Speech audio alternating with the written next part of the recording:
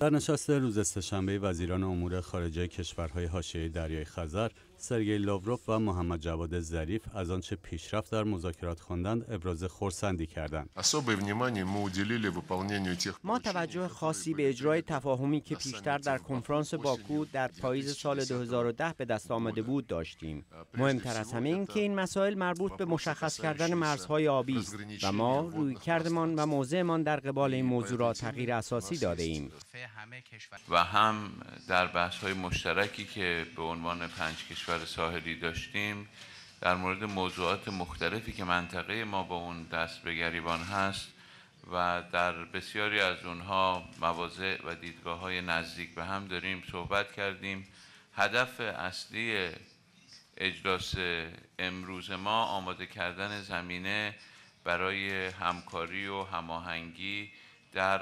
یک پهنه آبی مشترک منحصر به فرد هست که این پنج کشور رو